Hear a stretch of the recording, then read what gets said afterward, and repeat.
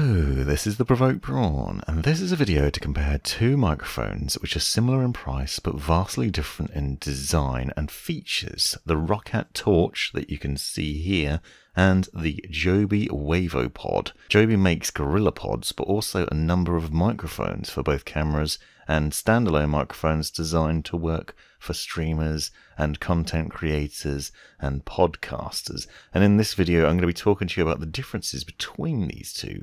Now, I have unboxed and reviewed them both separately and covered a lot more depth on various different things about them. But here I want to talk to you about the differences between them.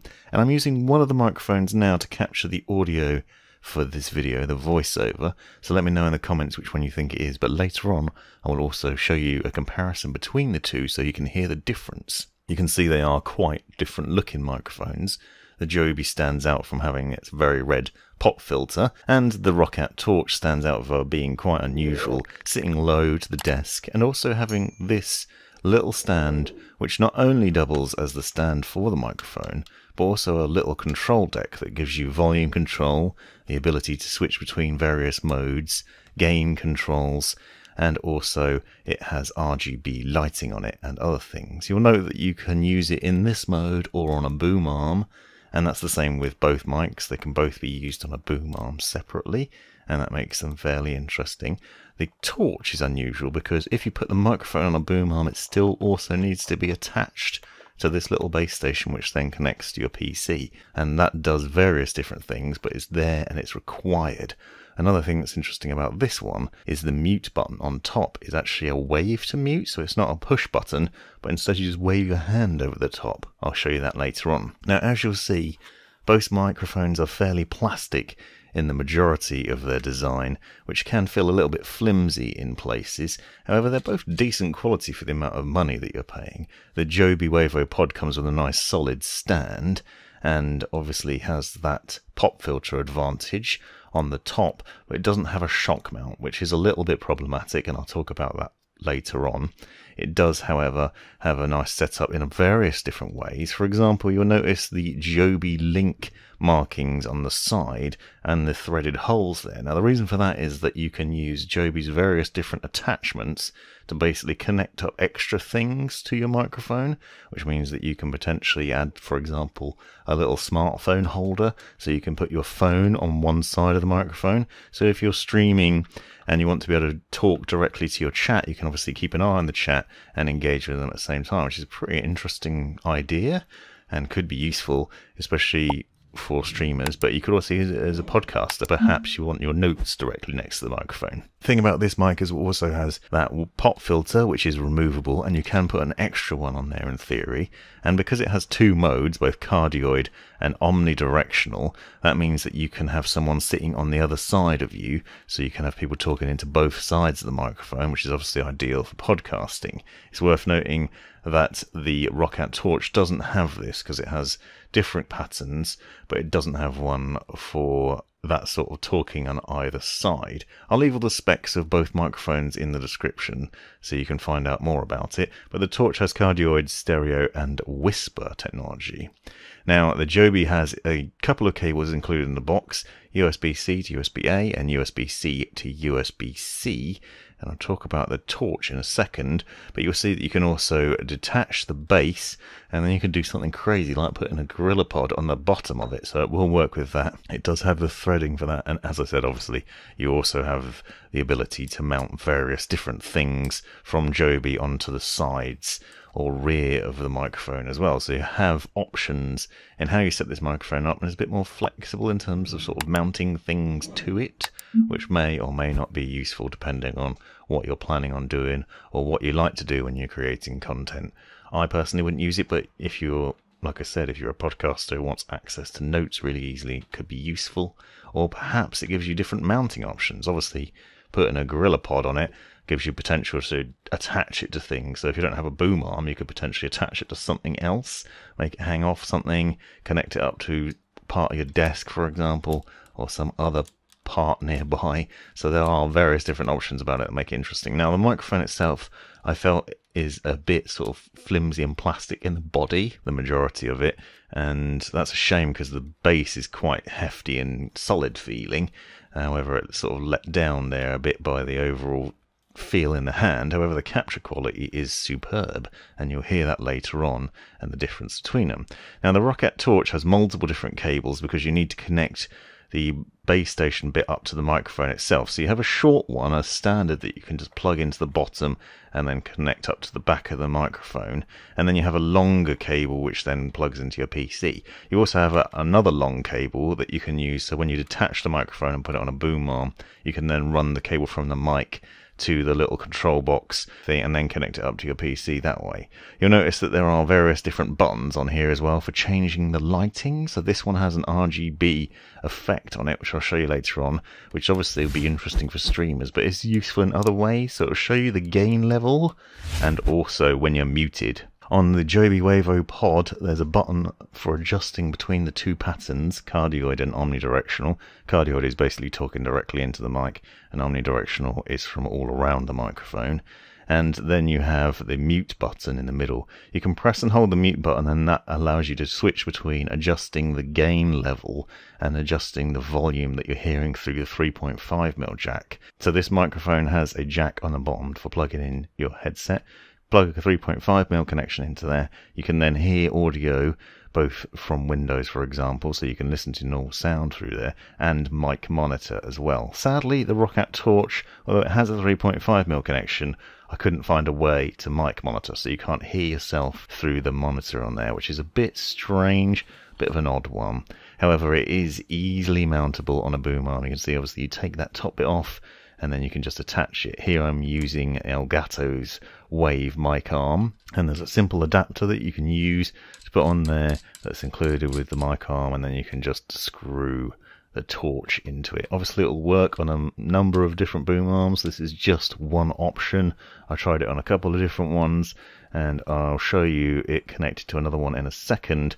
But what you'll see is nice and stable setup, and it's quite a weird design. It's quite an unusual microphone. It stands out from the crowd, I think, even when it's not plugged in. When it is plugged in, you'll notice the difference in terms of the RGB effects and the sort of impact that that has, which is quite cool. And I like it for a number of different reasons, not least of which is obviously the capture quality, but also the controls and the things like the whisper mode, which I'll talk about in a minute. But here you can see it on the Rode PSA 1 Plus, so it's mounted near me. Now I've got it facing the wrong way around, so you can see the RGB lighting that you'll see.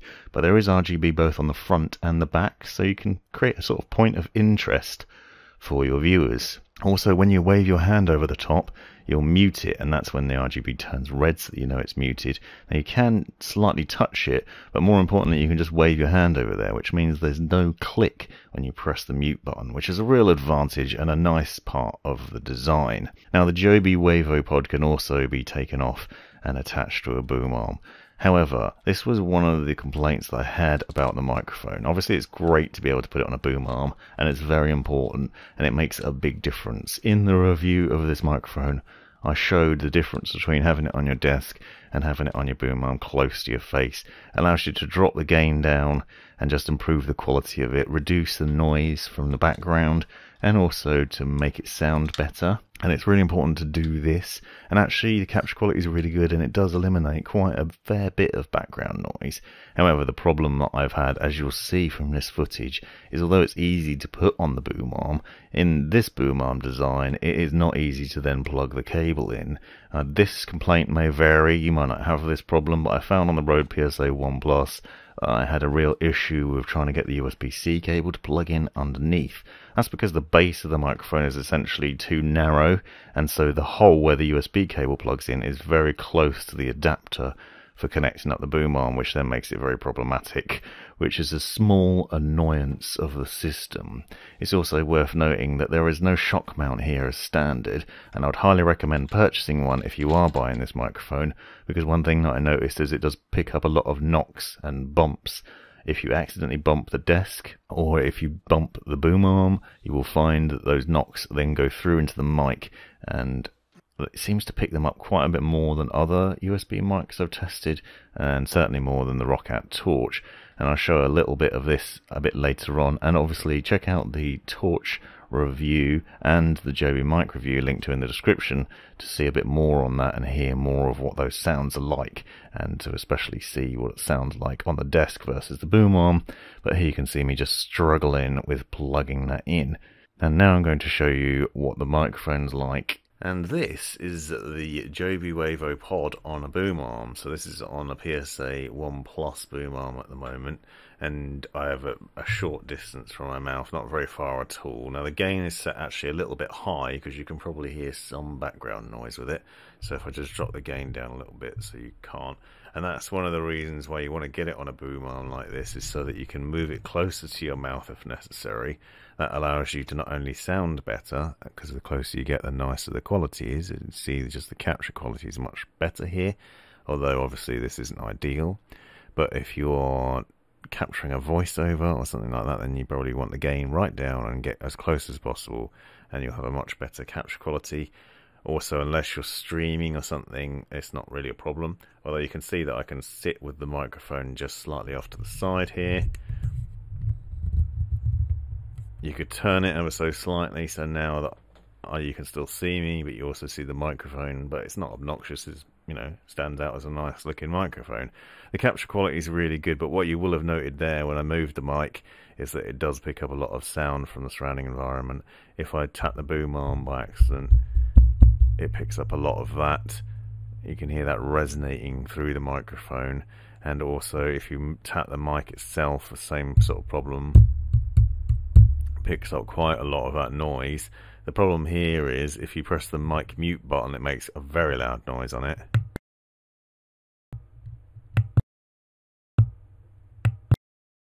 So it's not very easy to activate the mute button without making a lot of noise. And I also have noted that tapping on the desk causes similar problems. Now I will do some typing in the background now so that you can hear that. Um, mic the microphone is sitting away from the keyboard. This has a cardioid pickup pattern at the moment, so it's set to only pick up from in front. My computer is behind it, and so it shouldn't be picking up too much fan noise or too much of a keyboard noise, but I do notice that it's picking up some of it. It isn't the best at eliminating background noise, but I, this is going to depend on your environment, how much noise cancelling foam or whatever else you have in your room. If you've got nice soft furnishings, for example, that will eliminate some of it.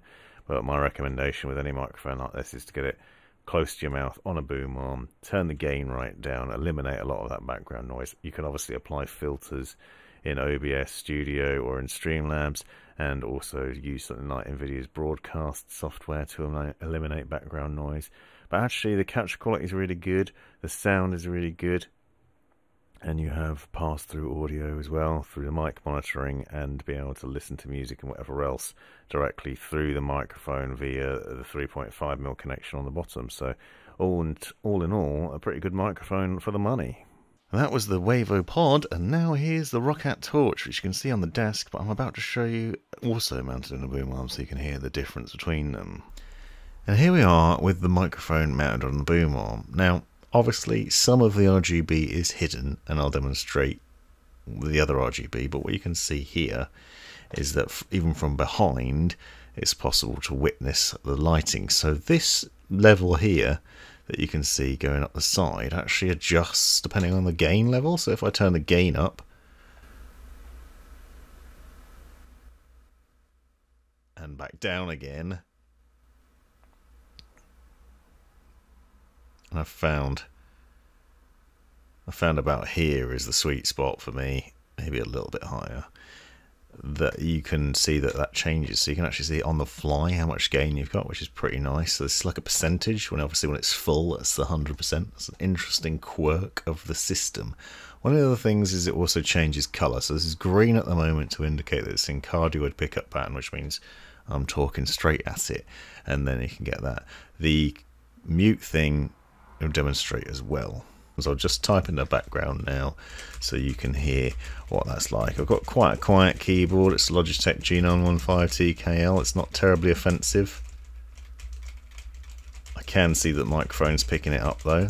one option there is to reduce the gain a little bit and then get closer to it and that's always a good way to cut down on such things to turn the gain down get a little bit closer and then carry on typing so now what I want to do is go into the polar patterns because I think that's worth discussing. So this is of this standard cardioid one and all I need to do is twist a dial on the left hand side of that stand to change. So I'm going to change first into whisper. So this is the whisper mode and then you can basically start talking really quietly and it'll still pick up what you're saying. My friend Sir Henry Deadman would hate this because he doesn't like ASMR. But if you're really into this sort of thing, then this might be the microphone for you because you can talk really quietly into it and it picks up a very nice quality, perfect for ASMR streaming. Some people might really like me talking like this as well. The one that I find interesting though is this stereo mode. So stereo is designed for picking up from multiple sources. So, for example, if you had someone on the other side of you talking, or you wanted to pick up sort of surrounding noise, generally speaking, if you're using it like I would be, you wouldn't want that stereo mode. You want it in cardioid pickup pattern so you can talk to the microphone and eliminate some of the other noise around you, fan noise and things like that. So this is the better pickup pattern. However, what is interesting is that in stereo mode, when I turn it over, you'll notice a difference that it actually changes ears in terms of where it's coming from. So if I click it over now, and then I'm talking on the left hand side of it, so I'm over here talking on the left, and then I'm talking to the middle, and now I'm on the right, and then I'm back in the middle again, and then a little bit over to the left, I'm over here on the left, and then I'm in the middle, and then over on the right.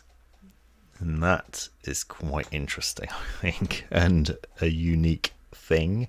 And you could use that in interesting ways, I do believe. So I'm actually really impressed with this microphone for a number of different reasons. It's surprisingly good for the amount of money you're paying. It gives good capture quality. I really hate the fact that I can't hear myself talking to you.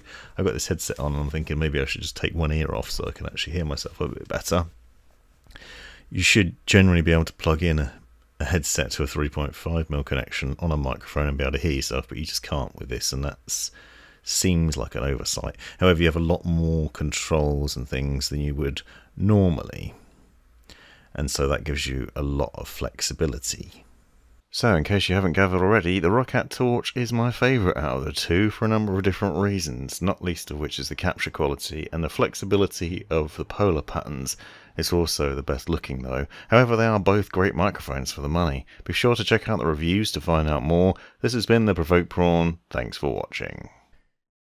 This has been the Provoked Prawn. Hope you found this video useful, interesting, hilarious, or otherwise. Take a look at these other videos that I think you might find interesting as well. And have a look at the description for links and other information you might find useful. Click that join button to see the benefits of being a member of my YouTube channel. And most importantly, have a great life.